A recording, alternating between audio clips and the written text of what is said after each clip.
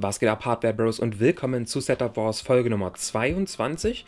Und wer es in die heutige Folge geschafft hat und vor allen Dingen, was es zu gewinnen gibt, all das erfährst du nach dem Intro. Ich wünsche viel Spaß und los geht's!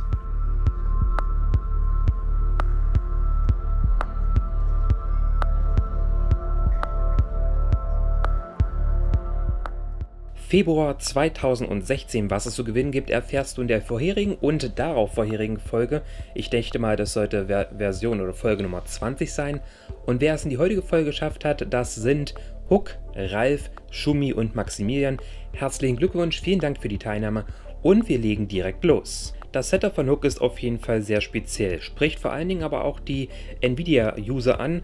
Bei AMD bin ich mir jetzt nicht unbedingt so sicher, aber ich würde auf jeden Fall hier davon absehen, Hook jetzt als Nvidia-Fanboy zu bezeichnen. Klar, Nvidia hat mit der 917 ein bisschen Bock missgebaut, aber Hook in diesem Fall jetzt aufgrund dessen, dass er auf Grün und Nvidia steht, gleich als Fanboy zu bezeichnen, finde ich einfach ein bisschen unfair.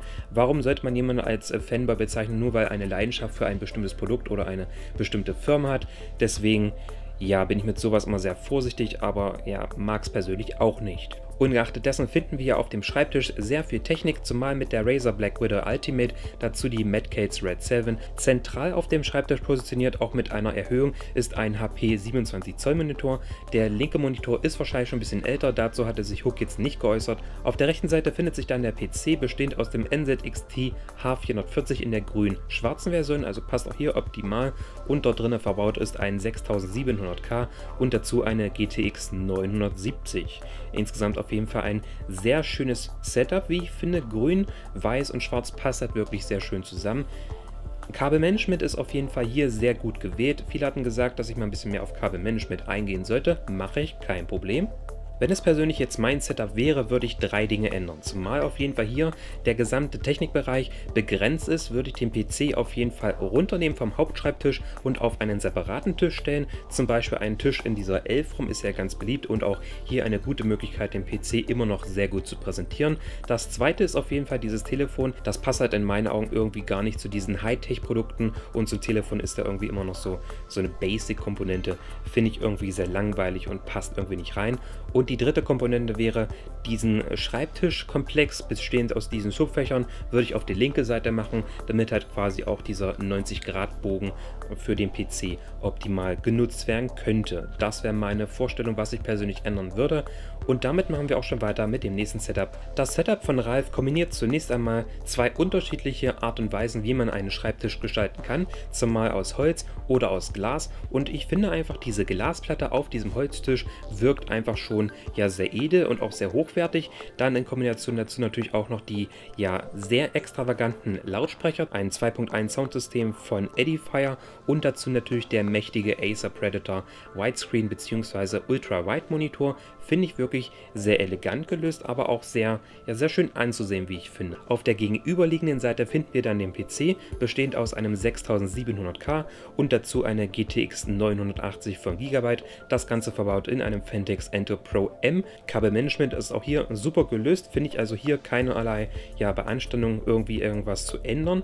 Was ich hier wirklich ändern würde, wäre zum Beispiel die Wand im Hintergrund zum Beispiel in einer anderen Farbe, aber vielleicht auch mit einem großen Bild, so ein Widescreen-Formatbild äh, mit einer City Skyline finde ich wirklich sehr ansprechend, passend auch zum Beispiel zum Hintergrundbild auf dem Acer Predator Monitor. Und Beleuchtung würde ich in diesem Fall jetzt hier darauf verzichten, und auch irgendwie Dekoartikel in, in grüner Form und dann würde ich das Ganze auch schon dabei belassen. Und in diesem Sinne machen wir weiter mit dem nächsten Setup und das ist das von Shumi. Das Setup von Shumi wirkt durch die Möbel auf jeden Fall sehr düster und dunkel, aber ich finde persönlich, dass diese Holzoptik, nennt sich ja glaube Nussbaumbraun, wirklich sehr schön und hochwertig aussieht. Über dem Schreibtisch befindet sich dann zum Beispiel noch ein Regal, auf dem jede Menge Krimskrams untergebracht ist, aber auch zum Beispiel diese ja, Stimmungslampe von Philips, die ich persönlich irgendwie nicht so attraktiv fand wie jetzt die von Elgato, die Elgato Avea Blub.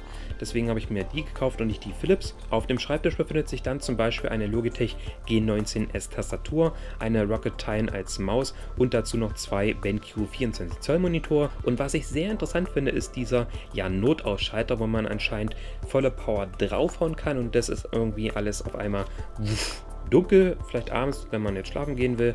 Ähm, interessant gelöst, aber vielleicht ist einfach nur ein Deko-Artikel, einfach nur ein Fake-Artikel.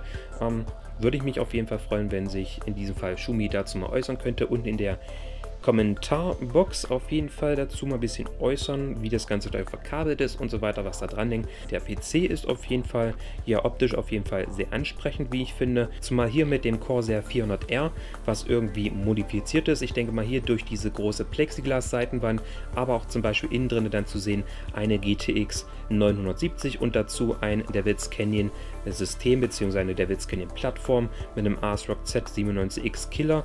Finde ich wirklich interessant anzusehen. Was ich hier persönlich ändern würde in dem PC, wäre auf jeden Fall eine Netzteilabdeckung, weil dieser Netzteilbereich da unten auf jeden Fall mit diesen Molex-Adaptern ähm, sieht halt nicht wirklich ansprechend aus. Das würde ich zum Beispiel bei dem PC ändern. Was mich persönlich auch richtig stört. Ich habe es noch nie verstanden, Leute, aber das sind Klebezettel irgendwo am Monitor, irgendwo an Möbeln dran. Ähm, wir leben im 21. Jahrhundert 2016 und es gibt auch sowas wie Windows-Notizen, da muss man sich nicht den, vollen, den Monitor voll mit äh, ja, Klebezetteln pumpen.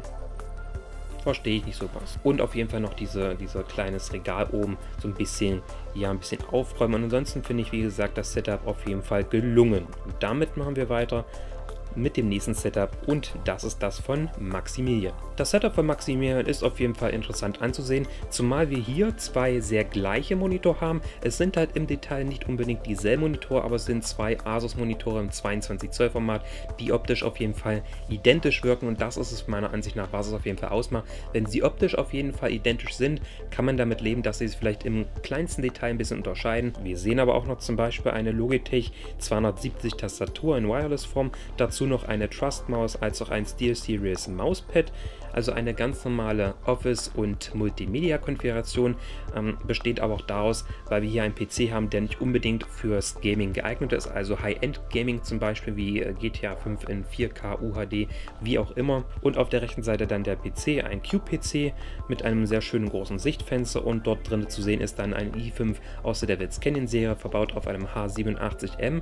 Das geht ja ohne weiteres. Ähm, mit dem H87 H80 oder H97 war es auch möglich, diese Devils Canyon CPUs zu übertakten und das Ganze wird dann kombiniert mit einer GTX 660 von Pellet. Die Wallpaper sind übrigens ja genau mein Ding, M4 und auch der GTA von JP Performance. Zu JP Performance komme ich gleich nochmal und dann kommen wir jetzt zu den Dingen, die mich persönlich stören. Und das ist auf jeden Fall ganz klar der Subwoofer auf dem Schreibtisch. Ich verstehe nicht, warum man sich einen Subwoofer auf dem Schreibtisch stellt, denn ich vergleiche es auch mal gerne damit. Ein Subwoofer aus einem 5.1 Soundsystem für euer Wohnzimmer stellt ihr euch ja auch nicht mitten auf dem Wohnzimmertisch, sondern irgendwo ja rechts oder links im Raum quasi von der multimedialen äh, zentralen Einheit Fernseher und Lautsprecherkombination halt irgendwo links oder rechts in die Ecke. Und ein Subwoofer auf dem Schreibtisch von so einem 2.1-System finde ich immer sehr kritisch, weil dieser Subwoofer nimmt Platz weg, sehr viel Platz weg. Aber auch natürlich so, wenn der Bass mal richtig einsetzt, dann könnte es sein, dass da zum Beispiel irgendwas auf dem Schreibtisch ist, was vibriert und Störgeräusche verursacht. Und deswegen bin ich persönlich kein Freund von einem Subwoofer auf dem Schreibtisch, sondern ein Subwoofer gehört für mich immer noch unten auf dem Fußboden. Und der zweite Punkt ist, der mich hier so ein bisschen ja, stört, ist auf jeden Fall dieser Stromverteiler hinter dem rechten Monitor.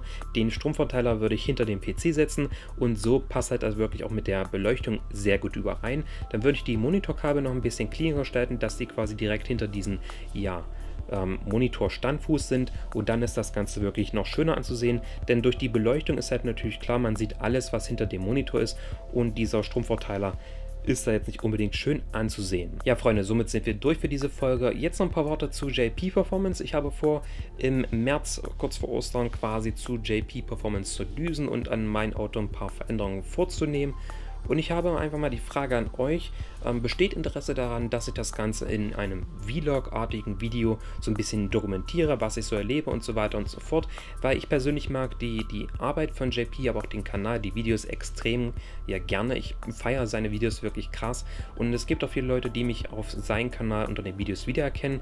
Und ich sehe auch immer wieder, zum Beispiel beim letzten Setup, dass es zum Beispiel auch hier Maximilian gibt, der auch eine Leidenschaft für JP-Performance hat, aber ich habe schon selber Bock, so ein Video dazu zu machen und würde mich freuen, wenn es ein bisschen Feedback geben würde, ob ihr sowas sehen wollt.